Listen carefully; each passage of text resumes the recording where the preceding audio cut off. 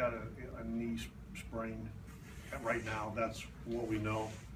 He'll, he'll, uh, he'll be examined in the morning, uh, probably early in the morning.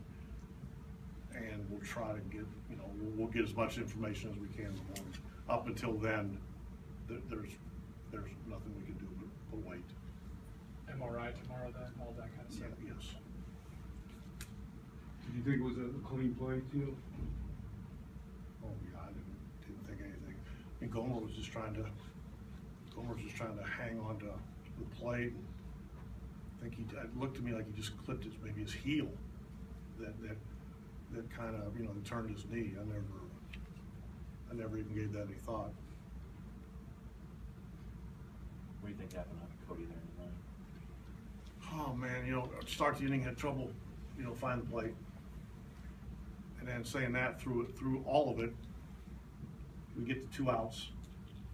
You know, and we're man, he's managing the inning. And then you, the 0-2 pitch, you know, tried to elevate a fastball and it caught way too much of the plate and that, you know, that kind of made it, kind of made a mess.